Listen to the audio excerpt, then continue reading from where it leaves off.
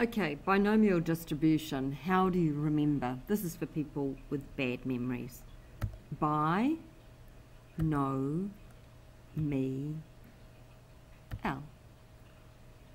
Okay, so there's four conditions. By means two. There are two possible outcomes, success or failure. No stands for number. There are a fixed number of identical trials. They're discrete. There's a bar graph, not a histogram. So just remember that it's a number, it's a whole number. It's not continuous. My, let's say that that sounds like me, just for our memory trick, and I'm dependent on no one, which is not really true.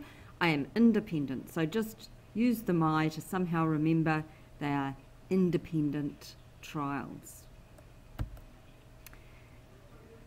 If we add another L to L to get all, we can say all trials have the same probability. We've got constant probability. So those are your four conditions. I don't know if this helps. Um, how do you spot it? Check out the four conditions.